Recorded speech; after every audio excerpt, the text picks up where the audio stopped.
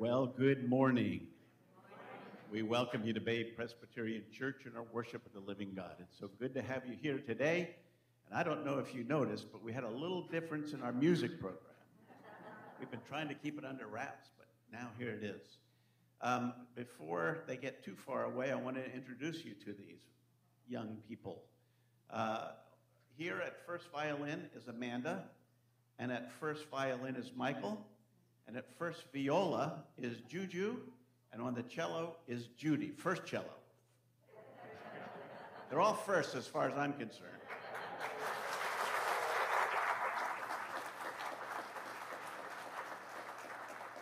And they uh, are, are here on the good graces of Gloria Gully, who's with us again here today to help us uh, with our music.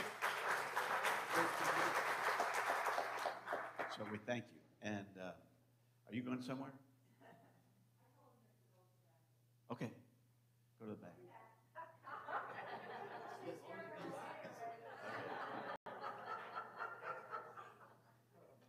I used to think I was in charge.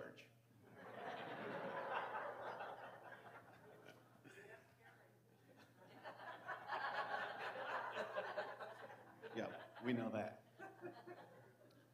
Okay, um, today you might have noticed something in the fellowship hall. We have a few tables up, and um, as we said last week, we're going to be having a, a, a box luncheon for uh, today if you signed up. Um, if you didn't sign up, um, I think um, you have to go to Publix and get your own sandwich and bring it back. Uh, because I think we only got as much as we had orders for. However, if you want to stay for the meeting that follows, I would recommend being back here at 1245, and uh, somewhere around there we'll start the meeting. Uh, it's an information meeting. I mentioned last week we're shuffling some staff assignments. We want, we want you all to be able to hear it and to uh, provide your input and um, help us work through it. And then, um, since we have, oh, let me tell you how that's going to work. Um, oh, yeah, you, you're going to have to come back so that we don't have to worry about that. You, you need to come back at about 10 minutes after 12 if you signed up for a box lunch. Uh, 10 after 12 if you signed up for a box lunch, quarter till 1 if you did not. Okay. This is complicated. Okay, now, um, the other problem, and Greg, you're probably wanting this uh, issue brought to the fore. Uh, we have a Sunday school that meets for adults um, at uh, typically it meets at 10:10, and it goes for about 40 minutes uh, to 10:50, uh, plus or minus. And you may have noticed, Greg, that your Sunday school room is unavailable. And there's a good reason for that. It's because I messed up. So, what we're going to do is we're going to have Sunday school. It's going to meet in the fellowship, or not in the fellowship hall, but in the conference room. Uh, and it's going to be first come, first serve because there are only a, certain amount of chairs that are in there. So, uh, it's free. Okay. Well, um, so I don't want any fist fights outside. Uh, trying to get a spot in there, but um, I think there's 13 chairs in there, and Greg gets one. So the first 12 uh, will will be able to sit down. And for the rest of you who don't make it, I'm sorry. Okay. Um, oh, uh, on Thursday afternoons at 2:30, there's a Zoom Bible study that takes place. Uh, and uh, they are looking for people who might want to participate in that. So if you want to participate in that, say something to me after the service, and we'll get you all the information you need to participate in that. It's a, it's a, they're doing a harmony of the Gospels. So some stories will in the Bible are in several Gospels, and they're they're kind of bringing that out and taking a chronological trip through the Gospels, and they're tying together uh, the stories that are in Matthew, Mark, and Luke. Occasionally, John, not very much. Um, on the 17th of March, Harry Reeder's here, and he's, he's going to be talking about um, leadership lessons from Gettysburg. Am I saying that right, Pastor? Leadership Lessons from Gettysburg on March the 17th, 6:30, right here. If you are a Civil War aficionado, Harry Reeder is a leading expert in the, in the area. He takes trips and tells people where the different armies were and how, the, how they marched and who was shot and who wasn't. And then the following night, we're having Faith in the Public Square here. Uh, that's going to be at 7 o'clock. That's going to be tricky because on Thursday night at 6.30, Friday it's at 7. Don't get them backwards, so because otherwise you'll be late. Um, now, for Faith in the Public Square, you have in your bulletin a card. It looks very much like this.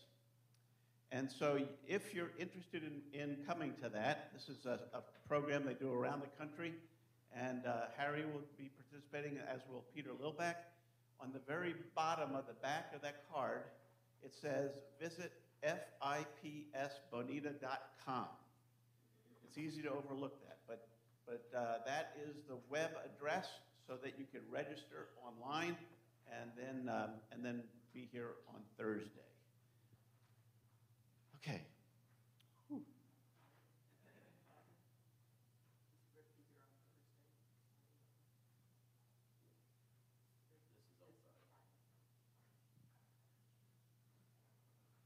I hardly ever make mistakes. but when I do, they come in clusters. uh, yes, Faith in the Public Square is Friday. Harry Reeder is on Thursday. Faith in the Public Square is Friday. Um, and then new members dinner, March the 23rd. The week after that, March the 23rd, 6 p.m. If you're interested in joining or finding out more about our church, we would love to have you uh, come to a dinner we're going to have on the 23rd and, um, and you sign up. There's a, a white card in the pew racks in front of you. You can pick one of those out, write down your name and your contact information, and we'll get in touch with you as to the particulars. I think that's it. Okay, let's take a few moments now to prepare our hearts for. Oh, oh one other thing. Dave Tanner is uh, taking pictures. If you have not had your picture taken, or if some of you have had your picture taken, but someone has said to you, We don't have your picture. That's part of the cluster that I have. So uh, please see Dave Tanner. He'll be out front after the service and get your picture taken. And so we can, we're going to start producing these, uh, these uh, directories, pictorial directories, and we want to get that wrapped up. So see Dave afterwards out front here. Let's take a few moments now to prepare our hearts for worship.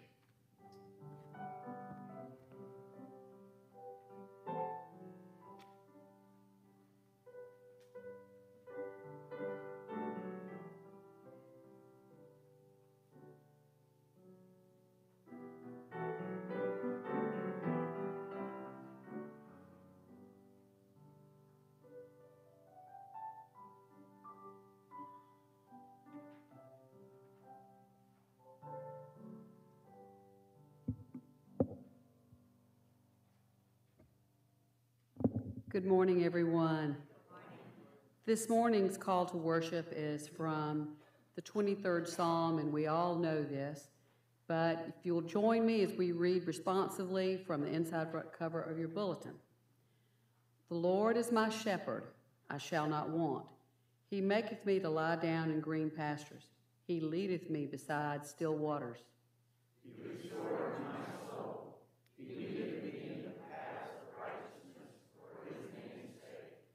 Yea, though I walk through the valley of the shadow of death, I will fear no evil, for thou art with me.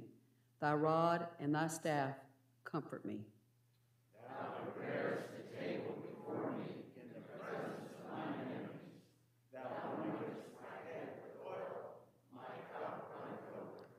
Surely goodness and mercy shall follow me all the days of my life, and I will dwell in the house of the Lord forever.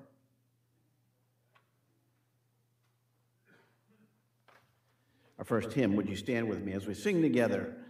Guide me, O thou great Jehovah.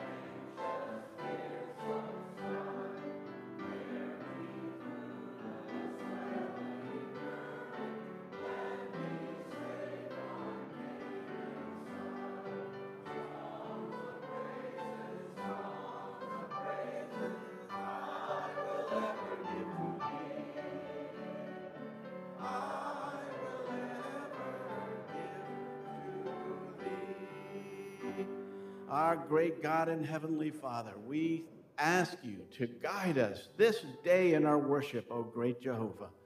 God, we pray that you would fall on us by your Holy Spirit so that our worship might be rich and the experience of worship might go to our very core.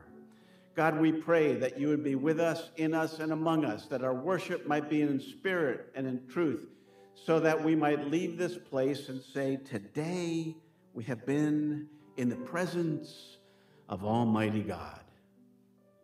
Hear us, O God, we make our prayer. In the name of our Lord Jesus Christ, he who lived and died and rose again, and who, while on this earth, taught his disciples to pray, saying, Our Father, who art in heaven, hallowed be thy name.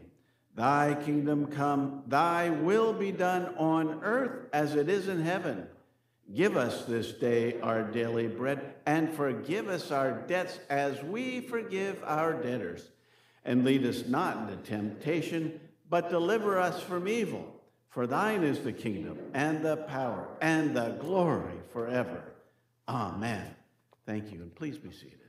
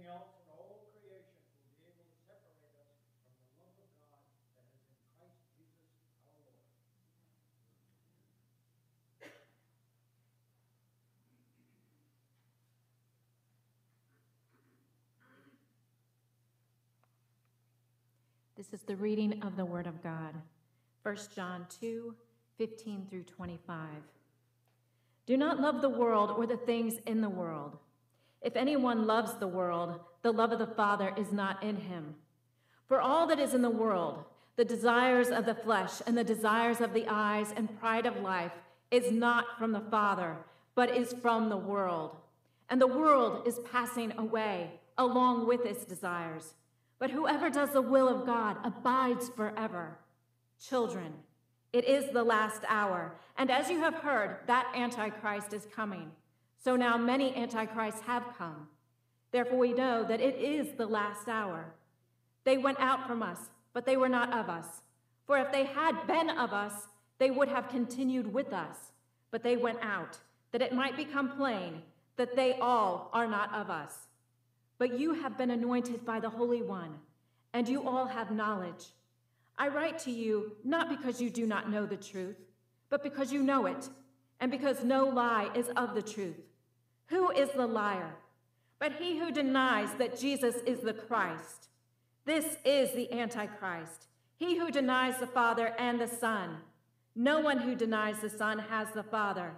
Whoever confesses the Son has the Father also. Let what you heard from the beginning abide in you. If what you heard from the beginning abides in you, then you too will abide in the Son and in the Father. And this is the promise that he made to us eternal life.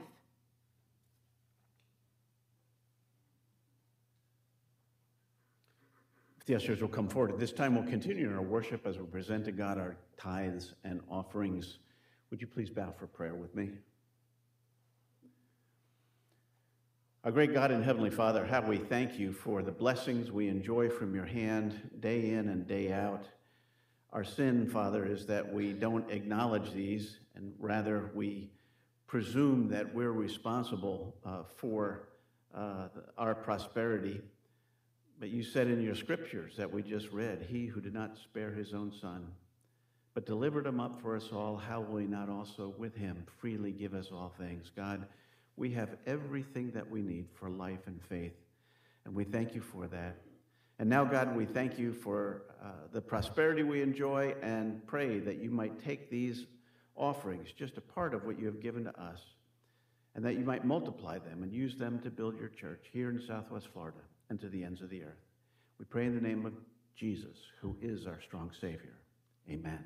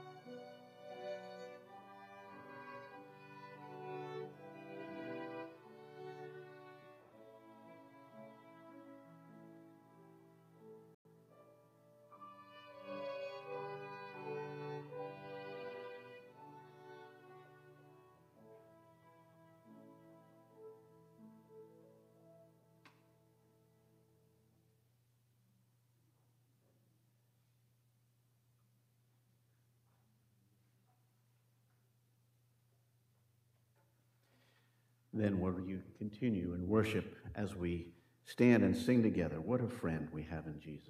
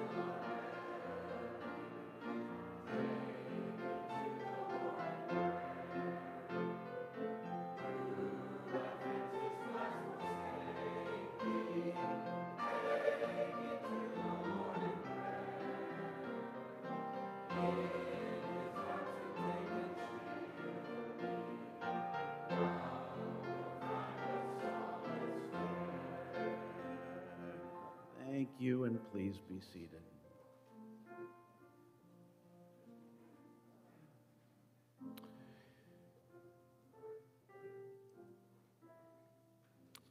I would invite you now to take out your prayer sheet from your bulletins and scan down there, pick out two or three for which you would pray. I would, uh, Josiah goes in for surgery this week, so please be remembering Josiah.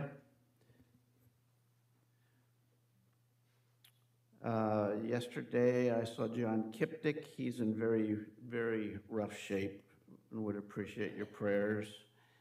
And, uh, and Georgia Bolsom, who was supposed to be home uh, earlier this week, is still in Miami. They are waiting for a acute care rehab facility to open up. And uh, right now, there's no space. So we need to uh, pray that God would open up a space so that they can get home.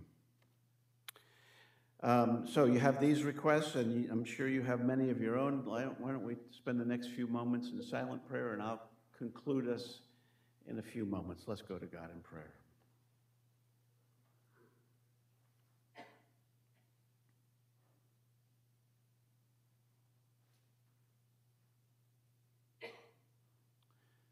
Our great God and Heavenly Father, we are frail. You said in the scriptures that our constitution is like a tent, explicitly temporary, not meant for eternal things. And yet you also said that you went to prepare a mansion for us something with hardened walls, something that will endure for eternity. And God, we thank you for that great and precious promise.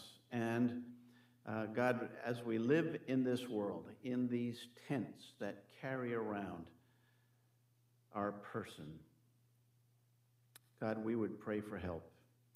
We're reminded this morning of the uh, difficulty that's going on in Ukraine and the lives that are so senselessly being lost. Uh, we pray that you might bring peace to that region. We pray that uh, you would uh, calm the anxiety that's creating uh, such a conflict. We pray that uh, for our part, we pray that you give our leaders wisdom to deal wisely and justly in this matter. Heavenly Father, we would want to lift up our men and women who are serving in the armed forces, acknowledging that uh, theirs is a, is a difficult and dangerous job. And we just pray that you might keep them safe, particularly as the world, so it seems, is on fire. And so grant, grant them uh, safety and success in their missions.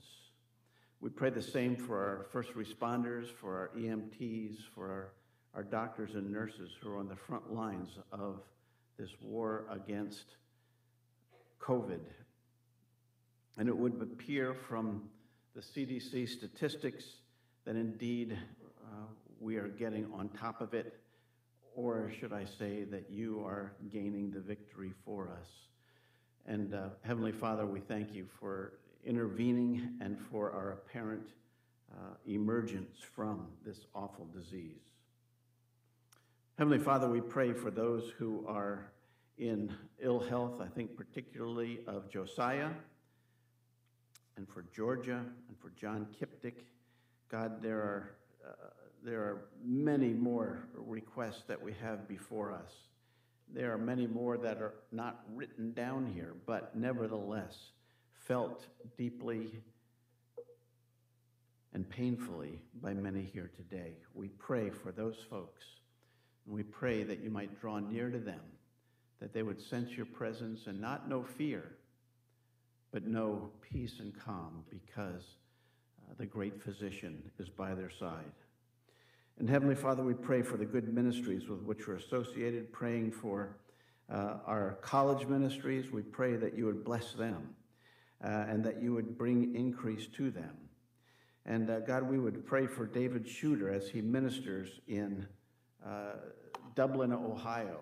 And we pray that that church would prosper. And uh, we pray for David, who's had his bout with illnesses, having a rare cancer and uh, surviving, and then having a rather heavy case of COVID and still surviving. God, would you bless his ministry and give him strength every day to get past these um, afflictions so that he might stand strong again. God, we pray for our pastor today as he brings the message and pray that you would encourage our hearts, give us ears to hear, eyes to see, and hearts to understand. We pray in the name of Christ. Amen.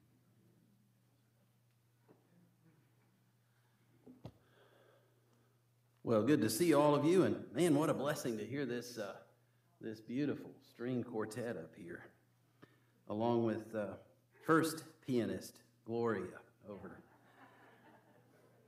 We certainly bring greetings to Gordon and Carol, who I'm sure are watching this morning from North Carolina up in Charlotte.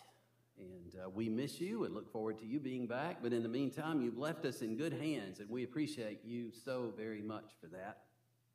Also, want to say hello to my mama, who is in the hospital, Mission Hospital in Asheville, recovering from what was supposed to be just a simple outpatient procedure on Wednesday. But due to complications, she's still there, but getting better. And then, of course, we all stand in solidarity today with our brothers and sisters in Christ in the Ukraine. And I just want you to know that my prayers are that God, by his mighty power, will frustrate, confuse, and otherwise obstruct the plans of the Russian dictator Vladimir Putin, who has chosen to relegate himself to the historical junk heap that contains the likes of Hitler and Stalin. That's what will come of that, sir. And I think about the Presbyterian pastor who was determined to make his way to the church building if it was still standing in Kiev today, to preach and to lead in worship if he was able to make it. May God bless that we might take into consideration whatever excuses we use not to come to church on a given Sunday when bombs are not falling and bullets are not flying. That God would grant us that same spirit of determination and faith that we may realize this world is not our home and how grateful we are for our Savior, the Lord Jesus Christ. And so I invite you to turn with me in your Bibles or otherwise give your attention to the reading of God's Word found in Joshua chapter 23.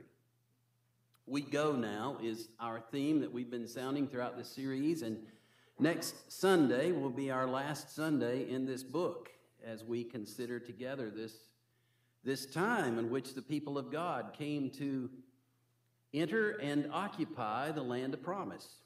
How that God, through the transition of leadership between jo- from Moses to Joshua, and then now as Joshua begins to transition out, as he is along in years, will be moving on, and God's people will, will enter a new phase, yet the Lord remains on the throne. And so the series is We Go Now. It is time for us to go, to do that which God has called us to do. The time is urgent, and God's warning is clear. So let's read together Joshua chapter 23, beginning with verse 1. Hear the word of the Lord. A long time afterward, when the Lord had given rest to Israel from all their surrounding enemies, and Joshua was old and advanced in years, Joshua summoned all Israel, its elders and heads, its judges and officers, and said to them, I am now old and well advanced in years, and you have seen all that the Lord your God has done to all these nations for your sake. For it is the Lord your God who has fought for you. Behold, I have allotted to you as an inheritance for your tribes and those nations that remain, along with all the nations that I have already cut off, from the Jordan to the great sea in the west. The Lord your God will push them back before you and drive them out of your sight. And you shall possess their land, just as the Lord your God promised you. Therefore, Be very strong to keep and to do all that is written in the book of the law of Moses, turning aside from it neither to the right hand nor to the left, that you may not mix with these nations remaining among you, or make mention of the names of their gods, or swear by them, or serve them, or bow down to them. But you shall cling to the Lord your God, just as you have done to this day. For the Lord has driven out before you great and strong nations, and as for you, no man has been able to stand before you to this day. One man of you puts up to flight a thousand, since it is the Lord your God who fights for you, just as he promised you. Be very careful, therefore, to love the Lord your God. For if you turn back and cling to the remnant of these nations remaining among you, and make marriages with them, so that you associate with them and they with you, know for certain that the Lord your God will no longer drive out these nations before you, but they shall be a snare and a trap for you, a whip on your sides and thorns in your eyes, until you perish from off this good ground that the Lord your God has given you. And now, I am about to go the way of all the earth, and you know in your hearts and souls, all of you, that not one word has failed of all the good things that the Lord your God promised concerning you. All have come to pass for you, not one of them has failed. But just as all the good things that the Lord your God promised concerning you have been fulfilled for you, so the Lord will bring upon you all the evil things until he has destroyed you from off this good land that the Lord your God has given you, if you transgress the covenant of the Lord your God, which he commanded you, and go and serve other gods and bow down to them. Then the anger of the Lord will be kindled against you, and you shall perish quickly from off the good land that he has given to you. So may the Lord bless this reading of his word. For the grass withers and the flower fades, but the word of the Lord stands forever. This is the word which by the gospel is preached to you. Amen. And so I'm thankful for warnings.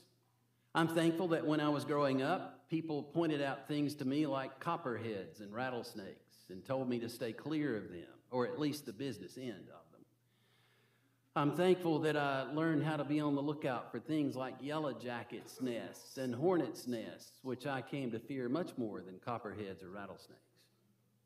I never will forget when I was using the sickle mower on the tractor, when I was cutting from under the fence row between my papaw's place and Uncle Lawrence Winchester's, that just as I glanced back, I saw the sickle mower come under a pretty good sapling that had a hornet's nest about that large in it, and as the sickle was doing its thing, that nest was shaking.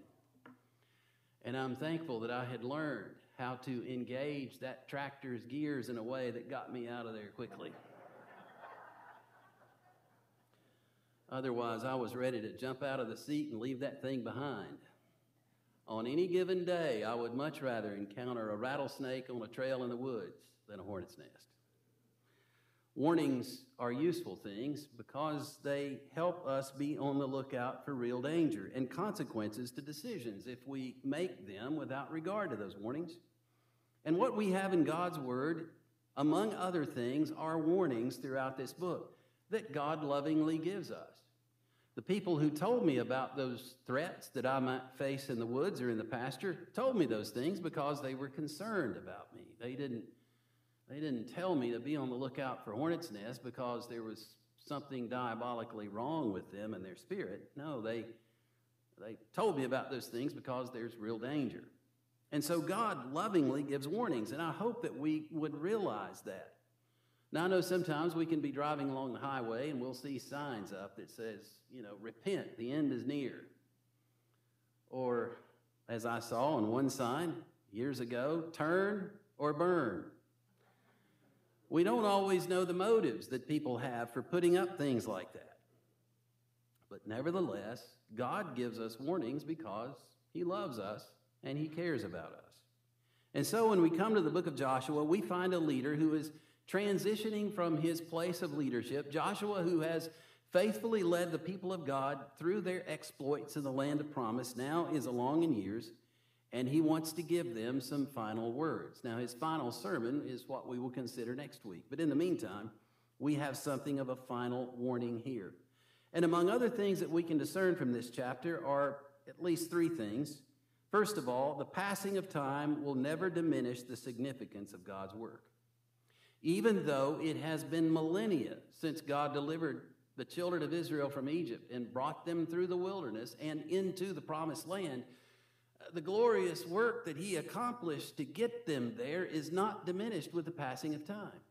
And even though skeptics have arisen that have caused us to question or doubt or be skeptics ourselves concerning the things of God's Word, that doesn't diminish at all what God did in those days. And if we love Him, and if we are thankful for Him and for our Lord Jesus Christ, we realize that all of these things happen just as God's Word declares that they did. And so, we are thankful that these things really did happen. And so, whether you choose to believe that they actually happened or not doesn't diminish their truthfulness whatsoever.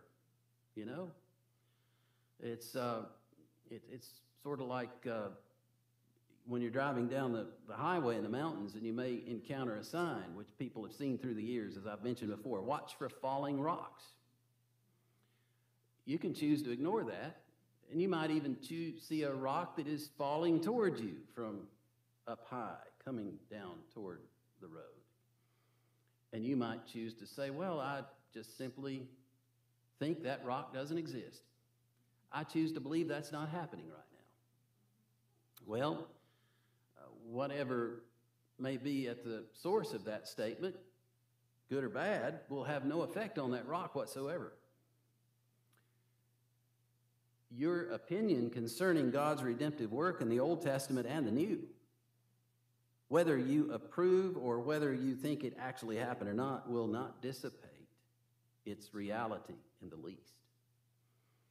We can choose to reject God's word and we can choose to reject the truth concerning the Lord Jesus Christ, but that will not prevent you from standing before God on the judgment day and giving an account for your life if you have rejected the Lord Jesus.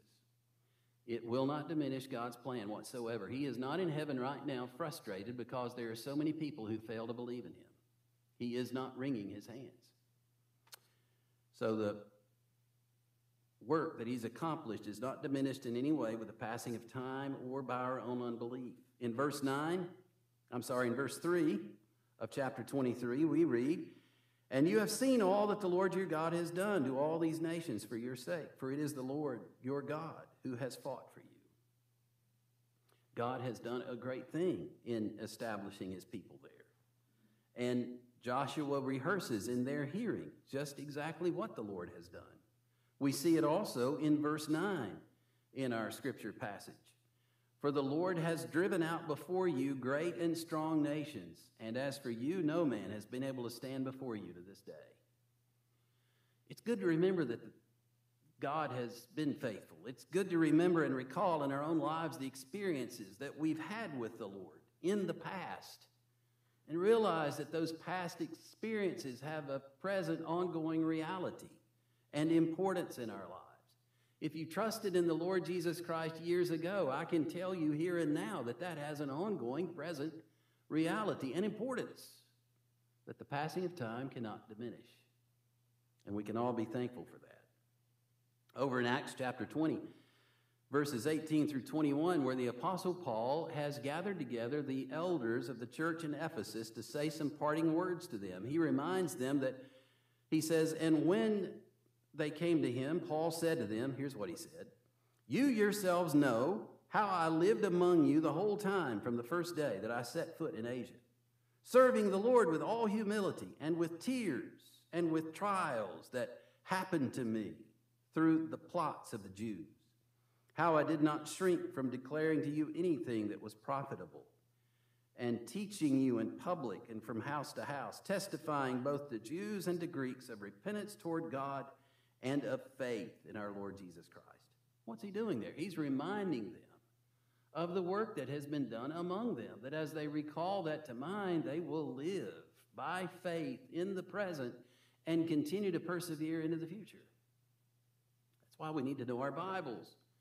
We need to be aware of what God has done through the ages in his faithfulness toward his people, even when there's been discipline involved. You know, and uh, Wednesday afternoons, we, uh, we, we, have a Bible study with uh, some guys from the Peoria, Illinois area. Our, our pastor lovingly refers to them as the Peoria Mafia. And, uh, you know, I dare not miss those meetings when I'm here, since it's a mafia after all. But we've been, uh, as of late, we've been reading through the book of Jeremiah and considering it. And, you know, there's hard stuff in Jeremiah. I mean, it's, it's just tough. It's, there's tough news to face there as God's people have reached the place in Jeremiah because of their rebellion and rejection of Him that they experience the consequences of that rejection. And, and it's hard. But still, it's, it's God's word, and we realize that there are lessons from those past declarations and experiences that are relevant in our own situation. That if we choose as a culture to reject the things of God and veer away from His clear teaching in His word, there will be consequences for that in our lives personally and in our culture collectively, and particularly within the church, as that is where the real application lies. How that in the church, we must be faithful to the true worship of the one true and living God and not reject Him. We need to look to the past and realize that God's work is significant and that we will be recalling it in eternity. The Lord worked wonders to rescue His people, He's worked wonders to rescue you. If you know the Lord Jesus today, you're a walking miracle because God, by His grace, has effected in you a new birth. You've been born again. And the evidence of that new birth is that you've trusted in Jesus. Otherwise, you wouldn't have come close to faith in Christ. But you are a walking testimony of God's faithfulness in our generation, not just to past acts of redemption. Secondly, the passing of time will never diminish the importance of God's word we uh, see that, and you've got verse 14 there in your outline, but I would also just point out verse 6 to you before we get to that.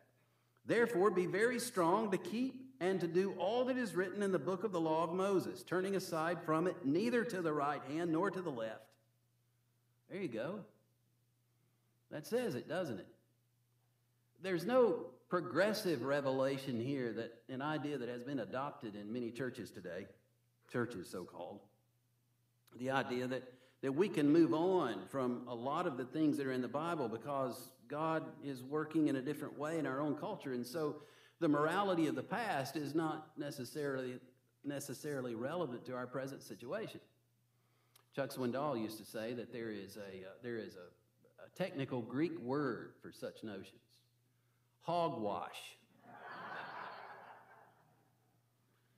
God's word is relevant and true throughout all generations. And Joshua doesn't tell them, say, all right, now Moses told you some things back then, but now we've reached a different point in our time and culture, and so you can just, you know, be a little looser in your practice. No, God's word is important and true. The passing of time does not diminish it. Verse 14, and now I am about to go the way of all the earth. And you know in your hearts and souls, all of you, that not one word has failed of all the good things that the Lord your God promised concerning you. All have come to pass for you, not one of them has failed.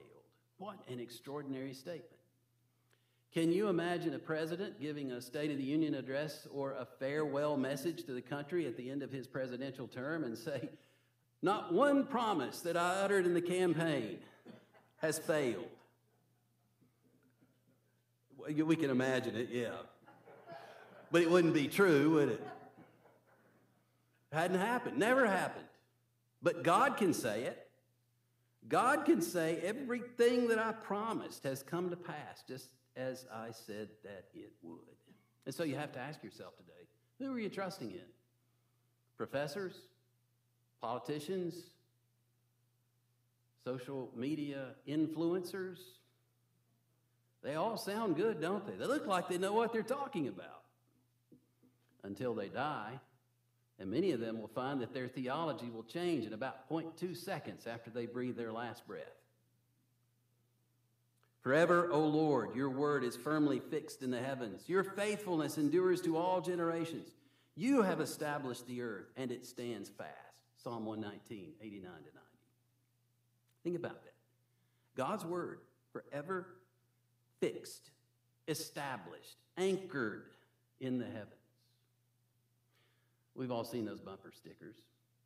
God said it, I believe it, that settles it. Now, there's a certain confidence in that, but I would suggest to you that those stickers would be truer if they simply said, God said it, that settles it. Now, it's good for you and me if we believe it, but we won't diminish its truthfulness in the slightest if we reject it. We are the ones who will be diminished. Do you get what I'm saying? And then the third thing the passing of time will never diminish the relevance of God's warnings. And they are aplenty. We see that in verses 11 and 13 in our passage, among other places.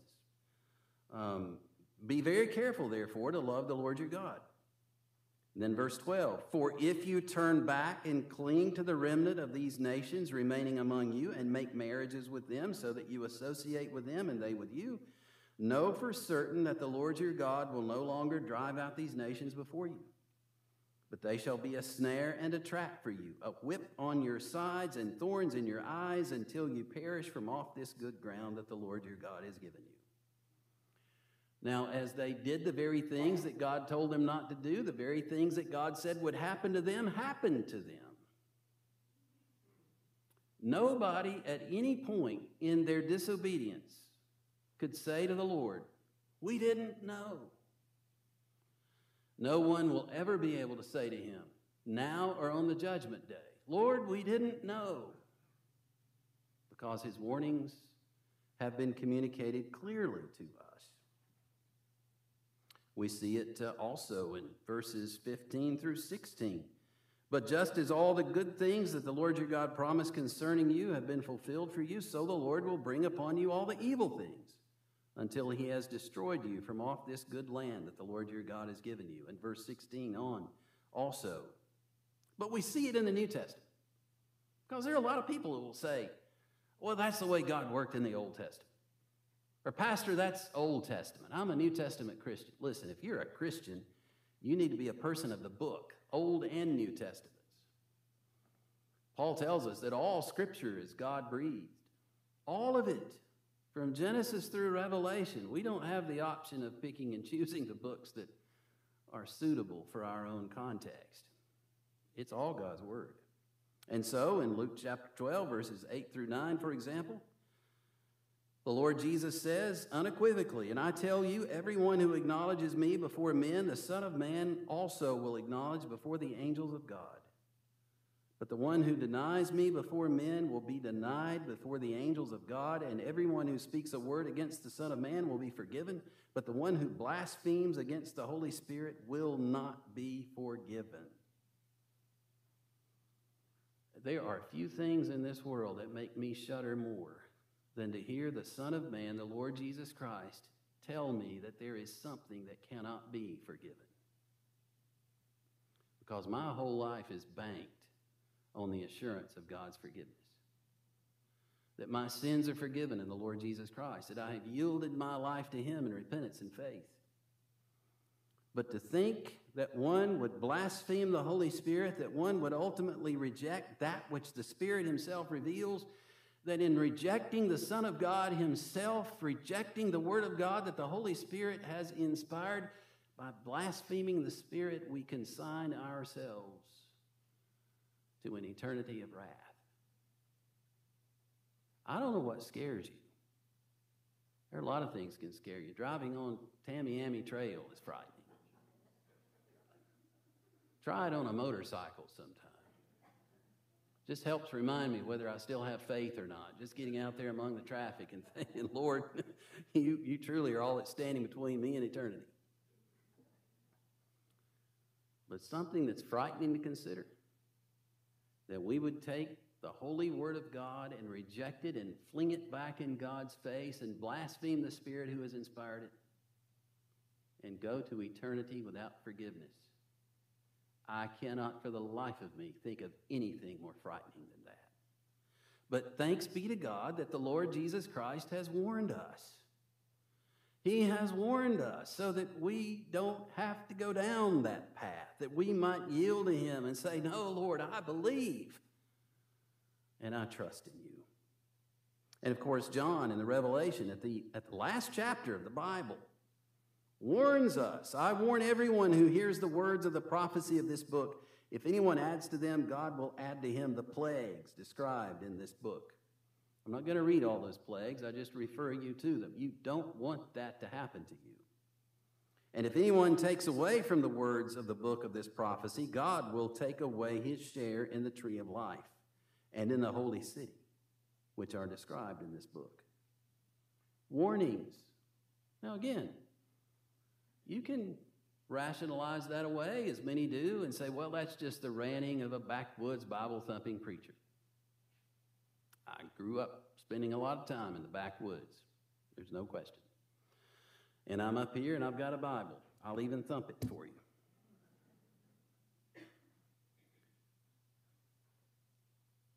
I did not write one word in this book. I am not making this up. I am simply trying to read and report to you faithfully what God has lovingly imparted to us for our benefit and for our sakes. God has given the Lord Jesus Christ because he loves you. He has warned us in the scriptures to trust in the Lord Jesus. He's warned us that if we reject the Lord Jesus, there will not be forgiveness. He's warned us because he loves us. And so today, we are able to come and to consider what happened long ago under the leadership of Joshua and realize that people come and go, circumstances change, but God's word stands forever, and that the Lord Jesus Christ remains now as he has the Savior of sinners. I've already made reference to it, but you know, we can be thankful that we're meeting here that literally the bombs are not falling outside, that missiles are not hurtling in the buildings, bullets are not being fired at us. Our children's hospitals are not being attacked by a nefarious enemy this morning, even though it's happening in the Ukraine. But we also know that those things and much worse could befall us. And if they don't, and I pray they don't, even so, death will come. I pray it's peacefully for you. I've prayed more than once God would take me in my sleep. I don't have the option of choosing the way that He's going to take me, but I can ask. Even so, the end will come. And I'm thankful that God has graciously revealed to us these matters of life and death so that we may confidently face the end. I can well remember taking the hand of a World War II veteran who had been through that horrendous Battle of Iwo Jima as he was a part of the 5th Marine Division, who had gone ashore at Red Beach at zero hour. And he saw more horrendous things than I can even begin to describe. He shared things with me and he told me, he said, Please don't ever tell my family. And as I took his hand as he was beginning to breathe his last, and I said, um, Grady, let me pray. He looked at me and he said, Don't you pray that I'll be healed. He said, I'm going to heaven and I'm ready to go. I wanted to say, Way to go, Marine. Hoorah. The end will come for each of us because the Bible has said it is appointed unto man once to die, and after that, the judgment. God didn't mince words, He's told us clearly. Know today that the Lord Jesus Christ is your Savior. That you can confidently say at the end, whether it's today or years from now, I'm ready. We go now. May God bless you to have that confidence in Jesus now and always. Let's pray. Father in heaven, you are the great and mighty one. And we ask you, O Lord, in this place of peace today, that you may grant to us grace, that there may truly be peace in our hearts with you through Jesus Christ, the Prince of Peace. Lord, we pray that peace will come to those places in the world now being ravaged by war and terrorism and violence of every kind. Our hearts are broken as we think of children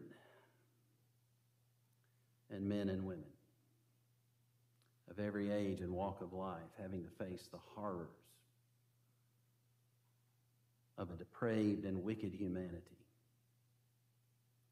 Oh, Father, open our eyes to the glory and majesty of Jesus, that we may flee to the one who is our refuge,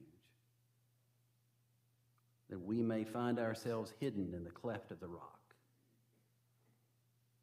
that we may trust in Christ alone that we may be the church in this world.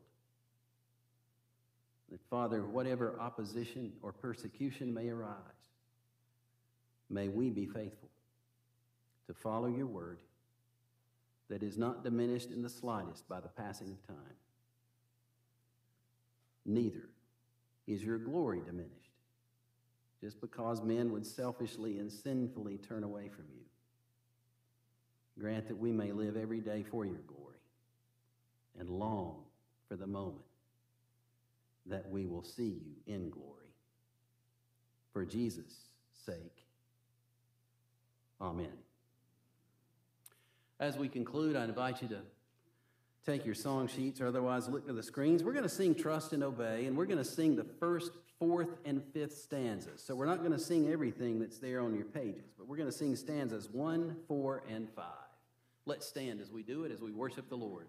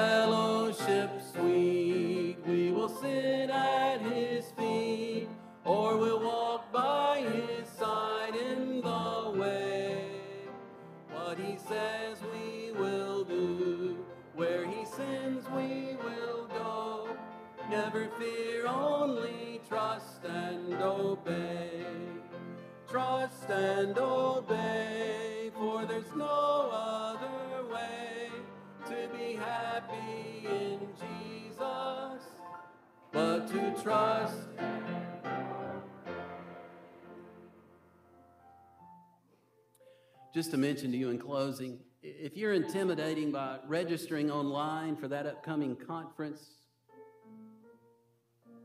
that will be held here on the 18th, just let us know you're planning to come. You can call the office or speak to me or just let us know. We'll make sure that you have a reservation and we'll worry about the $15 later. But I know some people have had trouble registering, and I don't want that to be an impediment to you. So please let us know if you plan to come, and we'll make sure there's a chair here for you. Westminster Seminary didn't give me the authority to say that, I just did.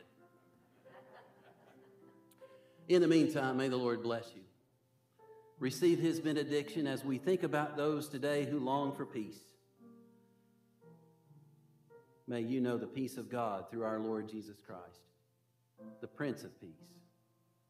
And so may grace, mercy, and peace from God the Father, God the Son, and God the Holy Spirit be with you and abide with you now and forevermore. And all of God's people said, Amen. Amen.